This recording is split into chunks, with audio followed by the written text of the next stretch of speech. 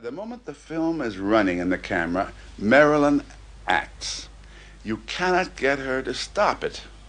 Even if she would forget a line, which occasionally she did, not because she didn't know it, but, but because she was so critical of herself that, that she would hate the way she'd read the last line and begin think about, thinking about that instead of reading the line that was supposed to be said. Joe Curtis, my assistant, uh, would read her the line. We coached him to, to throw the line at her. She kept acting all through the coaching so that you, you didn't feel that she was listening to a prompt. She, it was really quite remarkable. There's several pauses like that in Bus Stop if you look carefully.